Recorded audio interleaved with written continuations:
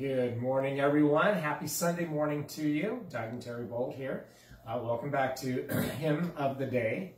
Uh, the hymn that i you can see I'm all dressed up today. I'm one of the few people that's going to be at my church, the Episcopal Church of the Holy Spirit, for our live stream service. The hymn I've selected for today is called uh, For the Beauty of the Earth.